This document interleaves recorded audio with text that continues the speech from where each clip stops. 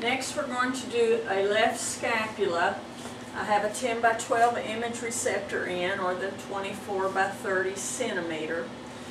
It is inserted into the bucky in lengthwise, or the portrait. Now our central ray is going to enter approximately two inches below the coracoid. Now I'm going to bring David's arm out to the side and bring it up. And what this does, it brings the lateral border of the scapula out from the ribs so that we can see it better. So this is our AP scapula. Now for our scapula Y, or the lateral of the scapula, I'm going to have David turn around and I'm going to put him in an LAO position.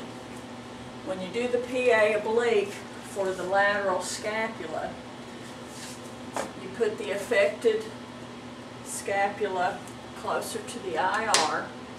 You have the patient turn at approximately at a body angle of 45 to 60 degrees.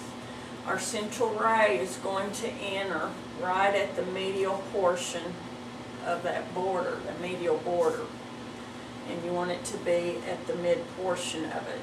I'm going to bring David's arm behind his back here and you can really see that edge of the scapula protrude at that point.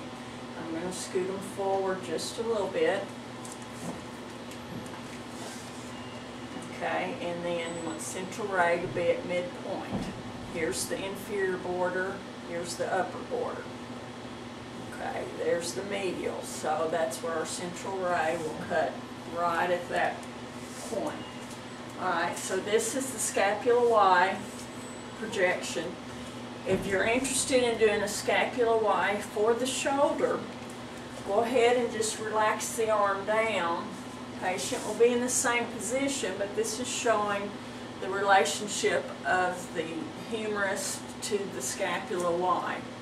And this is, uh, gives a good indication also of if a shoulder is, is out of joint.